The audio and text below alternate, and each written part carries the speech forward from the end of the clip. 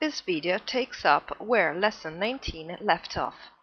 We will see how to construct a flanged splice joint automatically by applying a predefined node.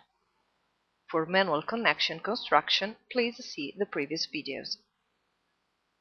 We apply a parametric node suitable for the current node, taken from the archive.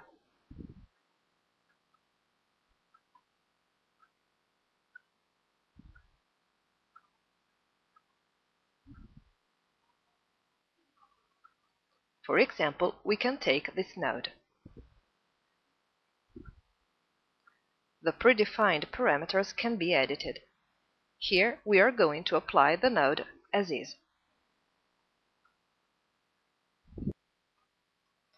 The connection has been constructed automatically, with all the components correctly connected.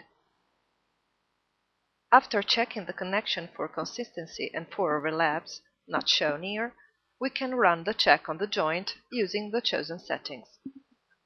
The process of setting up the checks is not shown here. This is covered in the more detailed videos. We analyze the connection.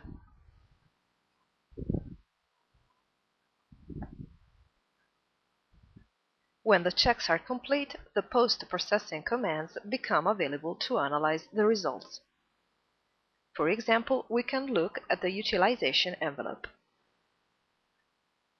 Or we can show the deformed view for the current combination.